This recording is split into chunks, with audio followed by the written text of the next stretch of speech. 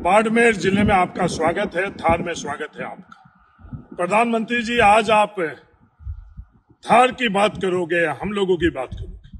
प्रधानमंत्री जी, थार का सवाल है, बाड़मेर की जनता का सवाल है। हम लोग पूंजीपतियों की सरकार कहते हैं, आपको भारतीय जनता पार्टी की, आपकी सरकार पूंजीपतियों के कहते हैं, कहने के लिए नहीं कहते प्रधानमंत्री जी।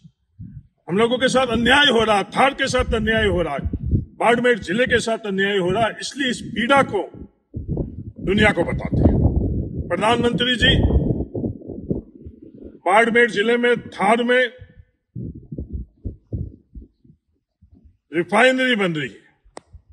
रिफाइनरी में सीएसआर जो वहाँ के लोगों का, हम लोगों का हक और अधिकार है, उसका पैसा जो ढाई प्रतिशत हम लोगों को मिलना चाहिए। ढाई प्रतिशत की जगह आपने जो हम लोग कहते हैं पूंजीपतियों की सरकार है, आम लोगों की नींव आपने पॉइंट दो पाँच प्रतिशत किया। प्रधानमंत्री जी, हमें कितना नुकसान हुआ ये सवाल धार का है।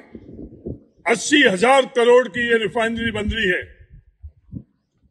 अस्सी हज़ार करोड़ रुपए की रिफाइनरी में ढाई प्रतिशत इससे हम लोगों को दो हज़ार करोड़ रुपए सीएसआर में मिलने चाहिए। प्रधानमंत्री जी, आपने धार के साथ, बाड़मेर ज़िले के साथ बालोता ज़िले के साथ अन्याय किया।